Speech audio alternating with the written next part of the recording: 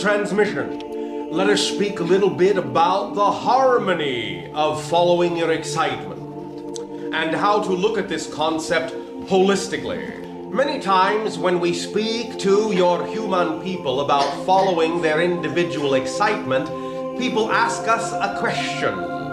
They say, Bashar, but if everyone is following their own individual excitement, uh, then won't that conflict with everyone else's excitement? How can everyone do whatever they want all the time and allow everyone else to also do what they want all the time? Wouldn't that create conflict? The simple answer is no. You must understand this concept of following your excitement holistically. If you are being your true self, then you will automatically fit with everyone else who is being their true self. The only time there is conflict, both on an individual and a large scale, is when individuals are resisting being their natural self. If you come from the understanding that creation already works, that all the pieces in creation already fit together, then you will understand the nature of this harmony. Disharmony and friction only come from not being your true self, the self you were originally created to be. Because then you are creating yourself to be a shape that doesn't fit within the original picture of the full idea of creation. But if you are your true natural self, you will automatically fit with all others being their true natural self in all possible ways. The harmony that is generated by everyone following their true excitement is profound. Without trying to figure it out, without planning ahead, everyone just winds up being exactly in the right place at the right time when they need to be. Without having to think about it or force anything to happen artificially, everyone just finds themselves interacting with exactly the right person they need to interact with at every given moment. Because the vibration of your true natural self automatically orchestrates itself with all other true vibrations, making everything dance together smoothly. That is why harmony is actually a great paradox. Because while at first it would seem that the more of an individual you are, the more conflict that would create, just the opposite is actually true. The more of the true individual you are, you become, the more harmonious you will become with all other true individuals. The only time there is conflict with the idea of being an individual is when you individualize yourself in such a way that you separate yourself from the harmony of the whole picture. Not understanding how you are connected to the whole creates isolated, separated, conflicting individuals. Understanding how you are connected to the whole by acting in your joy and excitement and being your true self creates harmonious individual. And also please understand the following idea. Segregation and separation and disconnection in that sense creates more and more and more negative energy and more separation. Positive energy, harmony creates more and more integration and integration and harmony is geometrically expansive. So as we have recently said, a few harmonious, integrated people will completely balance the idea of many negative, segregated, disconnected people. The energy idea, the energy signature of 1,000 disconnected negative people can be completely balanced and offset by the energy signature of just 10 people acting in harmony. That is why your planet is now accelerating in spiritual ways, because it doesn't require that even half of the planet or even a quarter of the planet be focused on spirituality for your planet to start moving faster toward the age of transformation. You have already long ago passed the critical mass number needed to help your planet continue to accelerate in a positive way until it reaches harmony. And on one level, that is why you understand, even unconsciously, it is safe now to bring all of these negative ideas and conflicts out into the open because now you know you can transform them and you're no longer in danger of destroying yourself. So each and every one of you, each and every single individual willing to live in their true vibration is like adding another hundred individuals to the acceleration of the world. By your year of 2013, every single individual that becomes aligned in their true vibration will be like adding a thousand individuals in positive energy to the world. By your year of 2020, every single individual willing to transform themselves in positive ways will be like adding a hundred thousand new positive individuals to the world. By your year of 2025, every single individual willing to become the vibration of their excitement will be like adding one million new positive individuals to the world's energy by your year of 2037, you will have billions of positive individuals working together individually and as one. And that unified energy is what will allow your planet to finally be able to join our association of many different worlds, work in harmony with all of us. So each and every one of you willing to truly relax into your joy and your excitement and be your true self, you add that much more momentum to the world's ability as a whole to become unified and at peace. The more each and every one of you are willing to trust your imagination and create new ideas in the world, new ideas of information, new ideas of communication, new ideas of education, new ideas of business, new ideas of technology, new ideas of power generation, new ideas of social community, new ideas of spiritual expression, a new definition of life on earth for all. The sooner you are each individually willing to take action in these exciting ways, the sooner life on earth will become your dream. And this is why we extend to each and every one of you our deepest appreciation in co-creating these communications with us because this adds energy to that positive momentum as well. Let us now then continue with a few more questions so that these concepts can be firmly understood and used in your daily lives to expand your reality in a positive way.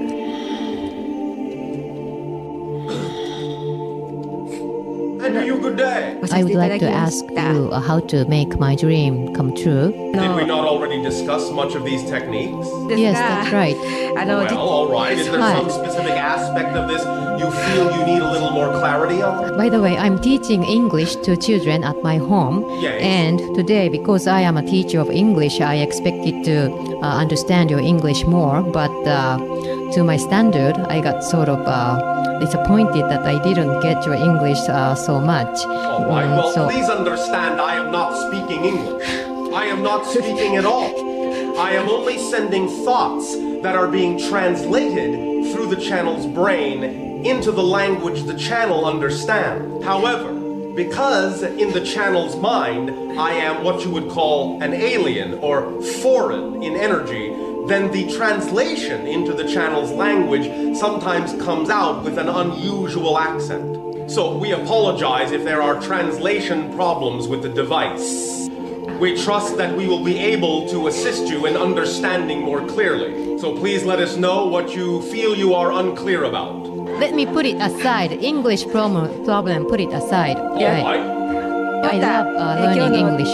Yes. And it's the most exciting thing to me. Oh, all right, Hi. So, by the way, I'm mother and wife, and I have roles at home. So I, uh, it is hard for me to make my own time to study more. And on the book of Paschal, I read uh, the time between two o'clock early in the morning to four o'clock early in the morning is the most energetic time uh, time zone. So I decided myself I have to learn during these hours, and then it's gonna be very efficient for me to learn and memorize things. All right, as long as you do not tire yourself out by getting no sleep at all. That's right. So it's kind of You have to trust your timing more than the idea of having to arrange your time schedule. You look at all the things that excite you the most in order of degree of excitement. Any given day, act on the things that excite you the most to whatever degree you can act on them. Take the first thing that excites you the most and do the most with it you are capable of doing within that day. When there is nothing more you can do about that exciting thing, then act on the next most exciting thing you have the ability to actually take some action on. And then, after you are done doing that, if there is nothing else you can do on that exciting thing, choose the next most exciting thing you are able to do something about. At the end of the day, if there is no more time for you to act on other things, then that's all you needed to do that day. Let the excitement show you the timing of how many of those things need to be done in any given day, and don't force yourself to think you have to do more than you can fit in any particular time frame that is comfortable. Because again, you have to look at your excitement holistically as a whole picture. What point would there be in following your excitement if to do so would wear you out? The idea is to trust the timing of the excitement in that what fits in one day is comfortable for you. You do not need to force anything else. Because what point would there be in following your excitement if following your excitement exhausted you? Would there be any point to acting on your excitement if it wore you out, if it tired you out. There would be no point to it. Excitement doesn't come that way. It doesn't come with exhaustion. It comes with rejuvenation, exhilaration. So rather than scheduling your time, trust the timing of exactly how many exciting things you can fit into any given time period. Does that make sense to you? So what you are telling me is I'm not uh, supposed to attach to that particular time zone, like two o'clock to four o'clock in the morning. I am just saying that that is a very good time when, if you are able to be quiet, you can feel energized and be very creative. But I am saying don't force yourself into that time zone. It should be a matter of easy timing, not I must do this then, I must do this now. Many people on your planet force themselves into artificial schedules that have nothing to do with their natural rhythm.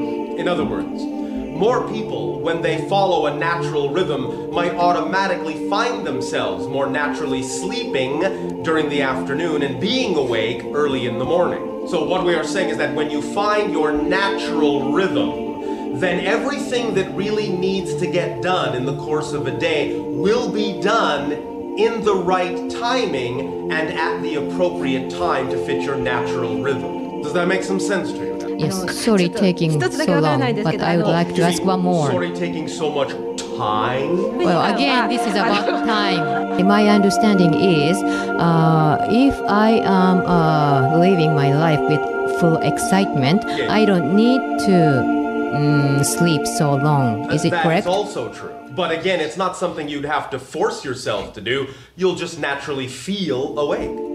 You will just sleep when you're tired and you'll be awake when you're not. That's all there is to it. So, yes, more and more individuals, as your species evolves, when they follow their highest joy, will generally find they don't sleep as much as they used to. That is generally true. One of the reasons that many people on your planet now must sleep the amount of time that they do is because it is important for them to connect to their dream reality. But when you manifest your dream energy on Earth, when you are living your dream, then you will not need to sleep so much in order to connect to your dream energy because it will be all around you. But while you are following your excitement, if suddenly you simply find that you are tired and it is natural for you to go to sleep, please don't force yourself to stay awake or think that there's something wrong with you. Everyone will be somewhat different for a while, and you must simply allow yourself to trust that your excitement will help you understand your natural rhythm and timing. Does that help? Yes, thank you very oh, much.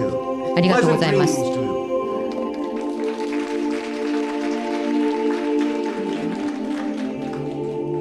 Next question. Hello. Good day. My question is about interpersonal relationship. By the way, there is a guy that I would like to be close to, but when we actually go out together, we often have conflicts. So I think my equation about this relationship is when I go out or I am together with him, uh, I cannot get along. And I would like to change this equation, this belief. How can I rephrase it into a positive thought? All right, thank you. Do you have any particular expectations of what you need him to be? That is a yes? Yes. What do you expect he needs to be? Are you saying you need him to change into something you would prefer him to be rather than allowing him to be who he is? Is that what you're saying? I hope so. Why do you hope this? For example, I, I share something with him, expecting him to comfort me, but he, instead of comforting me, uh, scolds me in a way. Yes. So why are you looking for that kind of comfort from him? I should feel comfortable when he comforts me. Why do you need him to comfort you, is what I'm asking you. Why are you looking for someone else to comfort you? Are you unable to comfort yourself? Now I know that I wanted somebody to comfort me. Why? Why do they need to comfort you? Why do you need to be comforted? Maybe because I want to believe he is special. No, you want to believe you're special. You want him to prove to you that you're special because you don't believe you are. That's right. Yes. That's right. And so he will get angry with you because all you're actually saying to him is, I am nothing. Please tell me I am something. But I am nothing. But please tell me I am something. So what you are saying is that you're only in the relationship for the purpose of making yourself feel better. It's not really about supporting each other. That's true. Now I Yes, very see. good. それ Thank が you for 分かっ opening て。 your eye. Does that help you? yeah, very much. Oh, now you can get in touch with that belief and use the techniques to change your belief and understand that relationships are for the purpose of allowing each other to become more of who you really are. Because you see, here is the paradox. This is the energy and the communication that you have been creating up to this point. You're actually asking him to reinforce your sense of unworthiness. Because every time you ask him to make you feel better, you don't have to change. You don't have to make yourself feel better. You're leaving it all up to him. And if he does it, that means he's reinforcing that you don't ever have to feel better about yourself because he'll do it all for you. A relationship is to help each other become more of who you are, not less of your natural self, which is what you're asking him to do for you. Does this make sense to you now, uh, energetically? I really understand that. Thank you. Thank you very much.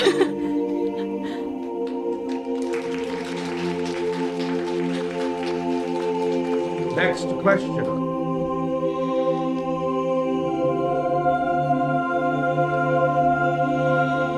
And are you good day? I think I've got the general idea of excitement, Oh, but I would I- like you to be more specific. In what way? Suppose I would like to have a business success and uh, I create an imagination of my business success in a form and I put it in my mind and feel excited and live my life fully with that excitement. Yes, without expectation. Now Oh, you understand? Without expectation. Yeah. Do you see how this changes the way you're asking your questions? You're forgetting a part of the formula. Act on your excitement with integrity and without expectation. So you do not close the doors through which the manifestation of your dream could come from another direction. It's the same idea It's with getting clearer and clearer, isn't it? Yeah. I think I got his point in his case.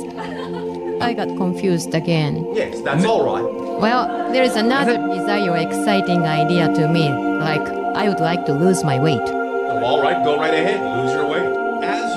As you move forward in your energy and you use more of your energy to manifest the idea of your dreams, then less and less energy sticks around you and builds up into matter. As you clear yourself of negative beliefs, then those negative beliefs no longer turn into the idea of spending time doing things that will add weight to your body because hmm. you will need to, in a sense, act at a higher frequency and you will drop the weight and not do the things that add the weight. The more you are truly aligned with your frequency of excitement, the more you will, shall we say, instinctively just do those things or eat those things or behave in a way that will be most aligned with your energy, and those things will not have a tendency to add weight to you. Now, we are not saying that you have to focus too hard on this idea. We don't want you to judge yourself, nor do we want any of you to think that in order to follow your excitement, you must be as skinny as a toothpick.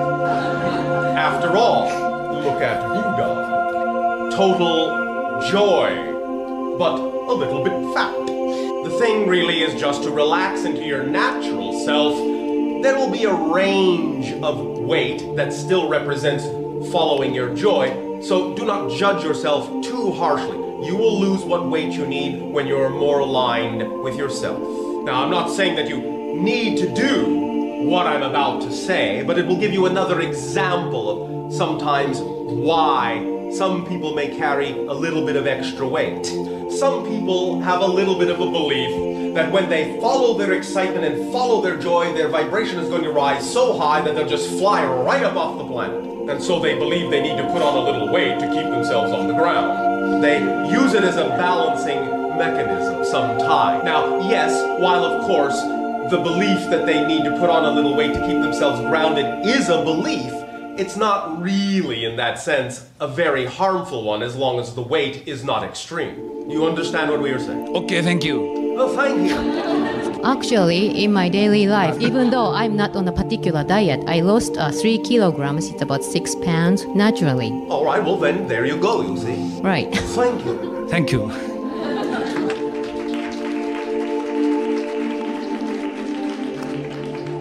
Oh, look, he has completely disappeared now.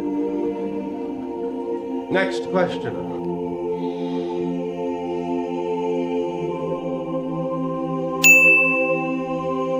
Would you want to manifest money, happiness, or the perfect relationship faster? With Genius Wave, you can accelerate your manifestation process and attract anything you desire. If you're ready to unlock your potential, click the link in the description box below for instant access.